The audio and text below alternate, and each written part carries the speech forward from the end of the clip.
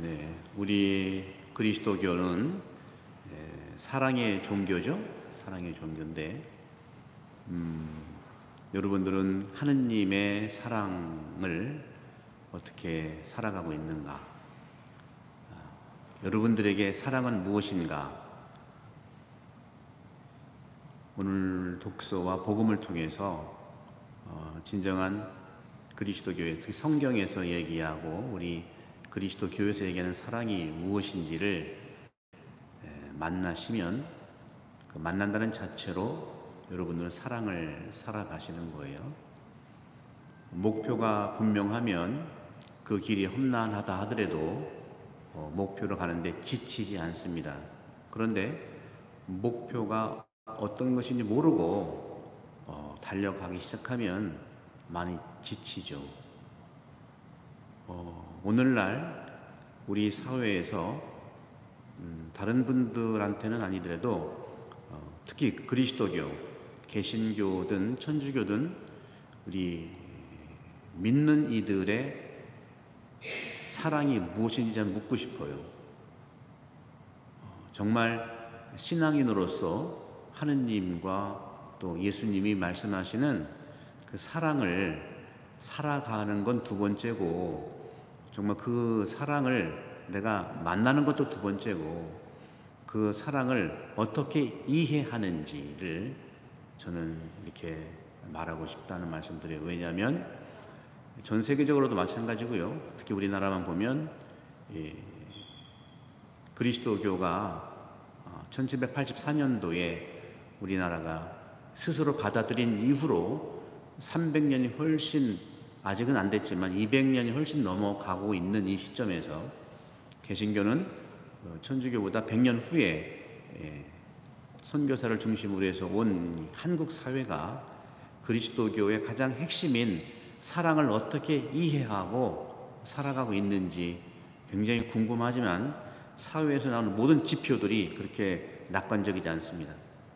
하느님의 사랑과 예수님의 사랑에 대해서 전혀 관심이 없는 것 같아요. 오직 자기 복만 누리려고 하는 경우가 대단히 많습니다. 아니라고 할 수는 있지만 그것은 누구의 책임이냐 책임을 떠나서 어, 모든 종교인들의 지도자들의 제대로 된 내비게이션 목표를 정해야 된다는 차원에서 말씀드리고 싶은 거예요. 그 점에서 어, 진정한 하느님의 사랑을 제대로 보여준 것이 오늘 제 1독서의 룻이에요, 룻. 나오미 시어머니하고 룻과의 관계에서 룻이야말로 하느님의 사랑을 진정으로 보여준 겁니다. 룻이 어떻게 했길래 하느님의 사랑을 진정으로 보여줬을까요? 그죠? 참 너무나 처지가 안타깝잖아요. 아들 다 베틀렘을 떠나서 모압 지방 가, 는 그런 과정 10년 이상을 살면서 아들 그 남편 세상 떠나 아들 세상 떠나. 그리고 또 며느리 한 명은 또 보내줘. 그렇잖아요. 그죠? 근데 루시야말로 저는 그렇게 말씀드리고 싶어요. 뭐 안 가고 시어머니랑 함께 살았다 이것을 말씀드리려고 하는 것이 아니고 그렇게 하는 그 사랑의 그 본질적인 것이 뭐냐는 것을 얘기하고 싶은 이게 예, 구약 전체에서 얘기하는 하느님 사랑을 그대로 드러내는 것이 루시다는 거죠. 근데 구약에서 얘기하는 하느님 사랑은 뭐냐? 구약의 핵심적인 하느님 사랑은요. 하느님이 우리를 너무 사랑해서 우리 모습을 당신 모습으로 만든 거예요. 이게 구약에서 하느님 사랑의 핵심입니다. 우리가 누구를 닮게 했다고요? 우리가 누굴 닮았어요? 하느님을 닮도록 만들었잖아요. 이게 핵심이에요. 근데 신약에서는 어떤 것이 핵심일까? 신약에서 핵심은요, 요 하느님을 닮도록 만든 그러니까 우리는 하느님 모상대로 창조됐다고 했잖아요. 이게 이론이 아니고 교리라기 교리가 아니고 하느님이나 예수님 교리를 선포하러 오신 게 아니에요. 교리 교리 너무 여러분 어렵다고 생각하시겠지만 교리는 이 사랑을 설명하다 보니까 어려운 거죠. 뭐 비유가 적절한지 모르지만 의학 공부가 왜 이렇게 어려워요? 외울 게 많잖아요. 그죠? 왜 외워야 돼요? 인간을 살리기 위해서 모든 메커니즘을 다 외워야 되니까 그런데 그 이론이 아니라 실제로 사람을 만나서 반응들을 본 실제 검증된 실험이라기보다는 사랑의 행위를 정리해 놓은 거기 때문에 얼마나 인간에 대한 머리끝부터 발끝까지의 그 원리가 복잡하겠습니까? 그런 것처럼 바로 이 하느님의 사랑이라는 것은 당신 모습대로 인간을 만드셨는데 당신의 모습대로 인간을 만든 그 사람이 어떻게 살아가는가의 표본이 루시고요. 신약 성경에서의 사랑의 핵심은 그렇게 하느님이 인간을 사랑해서 당신 모습으로 만들었는데 신약에서의 핵심은 바로 그 사람이 돼버린 겁니다, 여러분. 하느님과 사람은 다른 존재인데 전혀 다른 존재, 구약은 전혀 다른 존재고 닮기만 한 존재예요, 인간은. 근데 신약에서는 하느님이 그 사람이 돼버린 거예요. 닮은 게 아니라 그 사람이 된 겁니다. 하느님의 주의를 내려놓고 땅으로 내려와서 그 사람이 된 거예요. 그게 누구예요? 예수님이잖아요.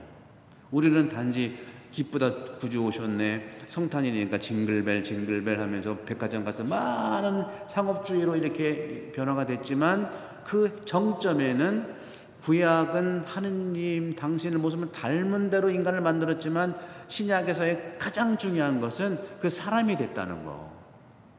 하느님의 모습이 아니고 그냥 사람이 돼버린 거예요. 이게 신약에서의 핵심이에요. 그러니까 우리가 그리스도를 믿는 종교이기 때문에 구약에 토대를 둬야 되지만 구체적으로는 바로 사람이 돼버린 예수님을 사랑의 모델로 삼아서 나도 그렇게 한다는 건 어떻게, 어떻게, 어떻게 하는 걸까? 나도 내 옆에 있는 사람이 돼버리는 거예요. 나도 옆에, 앞에 있는 사람을 돼버리는 거죠. 앞에 있는 사람이 돼버리는 거예요. 사랑은 내가, 그러니까 참 힘들어요. 이게 너무 힘들어. 사랑이라는 것은 많이 가지고 있는데 내가 많이 잘 행복하게 먹고 그 다음에 이웃에게 나눠주는 것도 사랑인데 하느님의 신약에서 사랑은 먹고 나눠주는 정도가 아니에요. 그, 그, 그거는, 그거는 누구도 할 수 있어요. 다른 종교 다할 수 있는 거예요. 가장 포인트가 내가 너한테 나눠주는 그 사람이 되는 거라니까. 남편이면은 부인이 돼버리는 거고, 부인이면은 남편이 돼버리는 거예요. 근데 이게 가능해요? 이 너무 이론적이지 않아요? 인간한테는 불가능하지만 하느님께는 가능한 거고요. 그렇죠? 그래서 오늘 복음에 보면은 어, 마음을 다해서 목숨을 다해서 정신을 다해서 이거 다 설명할 수 있어요. 다 설명할 수 있지만 그 결론으로 가는 것은 그냥 하느님이 그냥 사람이 돼버리는 거 이게 그리스도교의 핵심이고 그래서 우리도 헌금도 하고 이웃도 나눠주고 또 도, 도네이션 하는 것에서도 어떤 마음으로 좀 할 필요가 있냐. 네, 그 사람이 되기 위해서 도네이션 하는 거예요. 그 사람이 되기 위해서. 남는 거 주는 게 아니에요. 어, 사람은 남는 거 주다 하다 보면은 나도 모르게 그런 욕심들이 생겨서 나는 늘 줘야 되고 난 받아야 되고 주종 관계가 형성돼 버리는 거예요. 그렇게 인간은 약해요. 그러니까 완전히 네가 나다. 그래서 내가 너가 되어, 되어 준다. 하는 차원이고, 그리고 어, 이웃을 여기 말씀 두 번째 계명이라고 했지만 다 같다고 그랬죠. 여기서 네 이웃을 너 자신처럼 사랑해야 한다 하고 말씀하고 있는데 요즘에는 심리학에서 또 여러 가지 그 뭐예요 자기 개발소에서 어, 자기를 사랑하라는 말을 많이 하죠, 그죠? 어, 저도 그런 부분에 이제 얘기도 하죠. 나를 돌보 돌보야 된다. 또 나를 방어해라 하는 그런 말이 있지만 사실 성경에서 성경과의 관계에서는 그 말은 안 맞는 말이에요. 성경에는 그런 말이 없어요. 예. 나를 방어해라, 나를 뭐 그, 그, 나를 사랑해라 이런 말이 안 나온다니까. 완전히 반대라니까. 그러니까 어떤 점에서 이 오늘날의 현상을 좀 쪼개서 얘기한 거예요. 쪼개서 얘기한. 근데 쪼개서 얘기한 것을 중심으로 알고 자기만 방어해. 자기만 돌봐. 그게 이제 예, 극단적으로 가면 이기주의로 가는 거예요. 일본이 왜 그렇게 축소지향적이고 일본은 왜 때만 되면 우리 한국을 이렇게 쳐들어오려고 이렇게 하느냐 심리적으로 이해하면 그게 심리적으로 이해가 간다니까요. 일본은요 잘 아시지만 싸움을 잘하는 사람들이 항상, 항상 정권을 잡는 무인들의 그 나라였잖아요. 그죠? 그리고 하다 보니까 싸움을 잘하다 보니까 승 이기고 지는 것이 확실해요. 내가 지면은 승복해. 근데 한국 분들은요, 저도 승복은 안 해. 음, 언젠가는 두고 보자 이렇게 나가는 거지. 이걸 뭐 말씀드리려고 하는 건 아닌데, 그래서 일본 같은 경우에는 그래서 형성된 것이 뭐냐면 남한테 피해 주지 말자가 아주 깔려 있는 일본 사람들의 생각이에요. 남한테 피해 주지 말자. 얼마나 아름다운 일이야, 그죠? 근데 잘 생각해 보세요. 남한테 피해 주지 말자가 조금 가면 남한테 무관심으로 바뀌어요. 무관심으로 바뀌면은요, 그 사람을 내가 어떻게 하고 싶어. 왜? 무관심이니까 내 소유로 생각할 수 있거든요. 나만 생각하니까. 한국은 지금 우리가 보기에는 굉장히 혼란스러운 것 같죠? 근데 기본적으로 한국은 상당히 밝은 민족이고 밝은 민족성을 가지고 있어요. 항상 남을 생각하는데 문제는 정신은 사라지고 습관만 남아 있는 게 문제. 그렇게 왜 남한테 오지랖도 관심이 많아? 해도 해도 너무 언론도 그렇고 다른 분야도 그렇고 왜 이렇게 관심이 많은지 몰라요. 그래서 이거는 제가 일본은 나쁘고 한국 좋다는 그런 게 아니라 정신이 빠진 행동은요 극단적으로 할 수밖에 없습니다. 그래서 오늘 복음에서 마음을 다하고 목숨을 다하고 정신을 다하라는 말이 있어요. 그래서 이 과정이 굉장히 중요해요. 그래서 굉장히 중요한 것은 오늘 나온 이 세 가지가 쇼마 이스라엘 해가지고 이스라엘에서 얘기하는 구약에서 항상 이스라엘아 들어라 하는 게 쇼마 이스라엘이잖아요. 근데 여기서는 정신을 다한다는 건 뭐예요? 정신은 알아차리는 게 굉장히 중요해요. 그러니까 어떤 점에서는 정말 공부해야 돼요. 공부하지 않고 사랑할 수 없습니다. 상대방에 대해 정말 사랑하려면 공부를 해야 돼요. 자기가 착각해서 하는 거 예, 아니죠. 그다음에 마음을 다하는 것은 정성을 다하자는 차원에서 얘기하는 거고 목숨을 다하라는 것은 말 그대로 내 영혼 여기 목도 푸시케인데 영혼을 얘기하는 건데요. 결국에는 공부해야 되고 두 번째는 마음은 믿어야 되는 거고 그리고 최종적으로 사랑하는 거예요. 이 두 개가 두 개가 빠진 사랑 관습만 남아 가지고 제가 맨날 법정 스님이 말씀하는데 성단도 습관적으로 나가고 어, 깨어 있지 않고 마음과 이 인식은 아, 나는 몰라 너무 어려워 아예 내 팽개쳐 그렇지 않거든요. 사람은 쓰는 만큼 이게 성장하게 되어 있어요. 이건 뭐 이미 다 나와 있는 거니까. 그래서 특히 매일매일 나오시는 여러분들은 지금 대단한 이 인식, 예, 그죠? 알아차리는 거하고 또 믿는 거에 대해서 건물로 얘기하면 튼튼한 그런 기초 위에 사랑이 이렇게 쌓여 있는 거거든요. 안 그러면 사랑이라는 그런 결론만 나와서 이 사랑의 이름으로 아주 잘못될 수 있는 게 굉장히 많습니다. 그 예를 들어 집에서 결혼하는 거 아니에요. 처음에는 당신 없이 못 살아 결혼했다 나중에 너 때문에 죽겠다 이러잖아. 그게 기본적인 알아차 아, 아는 거 서로가 서로를 아는 거하고 그다음에 서로 믿어주는 것이 튼튼하게 될 때 사랑이라는 꽃은 열매예요 열매.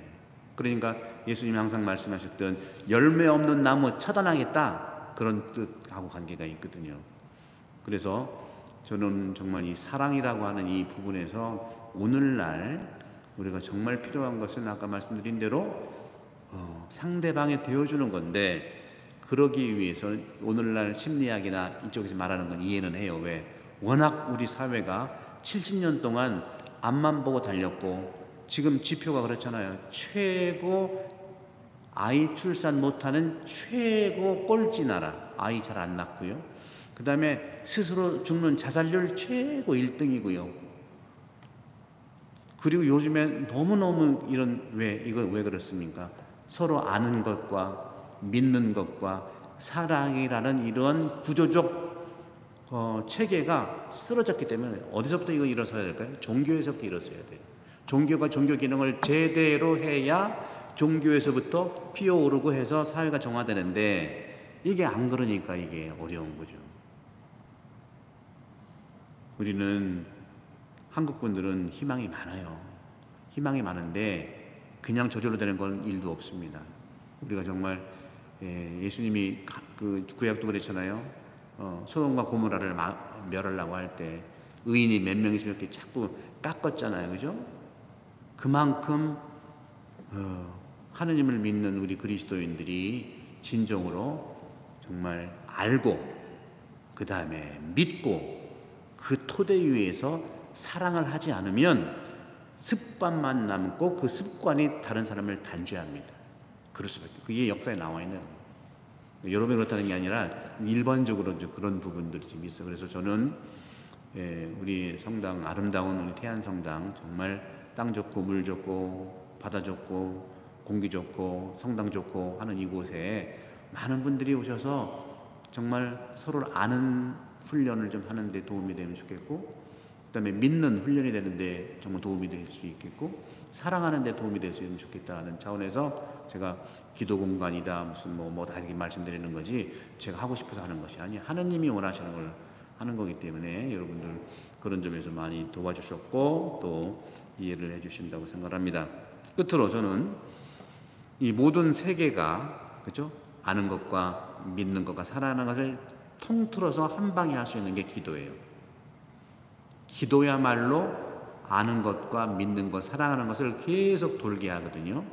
그 기도 방법을 제가 그 그동안 주일마다 말씀을 좀 풀어서 드렸지만 오늘 여러분들께는 예, 중심이 되는 팁을 하나 좀 드리도록 할게요. 기도할 때 여러분들 어, 외워서 하지 마세요. 제발 please 외우지 마세요. 저도 미사경본 지금 30년 차지만 모두 일부러 안 외워요. 사랑은 뭐냐면 사랑은 기억이 아니라 지금 보는 거거든요. 지금 보는 게 사랑이에요. 아까 어, 룻 얘기했잖아. 룻이 왜 하느님의 사랑을 그대로 드러내느냐? 통틀어서 하느님의 사랑은 딱 한마디입니다. 임마누엘 뿐이에요. 임마누엘은 뭐예요? 함께 있는 거잖아요. 함께 있는 게 하느님 사랑의 핵심이에요. 뭘 주고 조건 지어주고 소유하는 게 아니에요. 함께 있는 것 자체가 그 사랑에는 실제로 목표가 없어요. 있는 게 목표예요. 함께. 우리 사람도 마찬가지예요. 이렇게 서로 젊은이들 연애하는 거 보면은 여성들이 그걸 잘 느껴.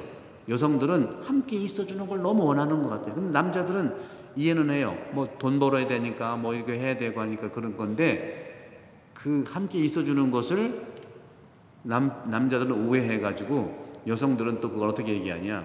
놀아달라고 그래. 오빠 놀아줘 그래. 근데 지금 놀 정신이 있냐. 어. 그게 바로 함께 해달라는 거거든요. 그래서 함께 하는 것이 그래서 기도하실 때 가능하면 기도문 보고 하세요. 기도문 보고 하시는. 제가 어렸을 때나 젊었을 때 또 얼마 전에도 우리 천년성차 하는 아이들 보면 다 열두 기도문 외우라고 그래. 저는 반대로 외우지 마세요, 제발. 어떻게? 지금 항상 보고 와서 왜? 글자가 하느님 말씀이니까 사랑을 느끼는 건볼때 느끼는 거예요. 그래서 항상 보고하고, 보고하면은 왜 외워서 하는 것이 좋긴 한데 뭐 가면서 할 수 있는데 예, 외워서 할 때 안 좋을 수 있는 게 뭐냐면 하도 외워서 하다 보니까 입은 자동으로 나가 그냥. 근데 생각은 오만 잡당 다 참겨내. 이게 외우는 것에 뭐 나쁜 건 아니지만 온전히 사랑할 수 있는 훈련이 되는데 방해도 될 수 있다는. 그리고 외우는 것이 이 세례를 주는 당락이 돼서는 안 되는 거예요. 얼마나 옛날에 외워서 공부한 사람들이 뭐 좋은 대학 가고 좋은 다 그런 건 아니지만 해가지고 어, 좋아졌나요? 그리고 나이가 들면은 암기력이 떨어지는데 그럼 어떡할 거예요? 그죠?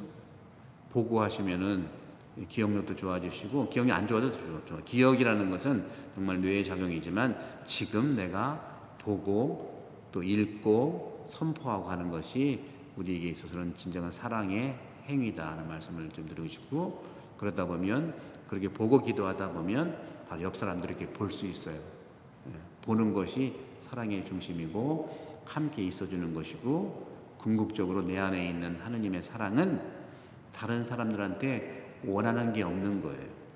원하는 게 있는 것은 마음과 생각과 몸은 자꾸 원해. 그러면 진정한 사랑은 원하는 게 없고 그냥 함께 있는 것 뿐이고 내가 상대방이 예, 되어서 할 수 있는 것, 할수 있는 이런 부분들이 근본적인 것인데 바로 오늘 제가 좀 길게 강론 말씀드리는 것은 요즘에 돌아가는 이 세상을 보게 되면 적지 않은 그리스도인이 많은데 너무 소유적인 사랑, 너무 어, 조건적인 사랑, 기도도 역시 그런 부분들이 좀 있고 그래서 저는 진정으로 저까지 저도 이제 이렇게 노력을 하는 거니 제가 완벽하다는 게 아니라 저도 강론을 이렇게 하면서 제가 자기 스스로 성찰을 하시, 하거든요. 그런 점에서 정말 이웃을 사랑한다는 것은 딱 한 가지.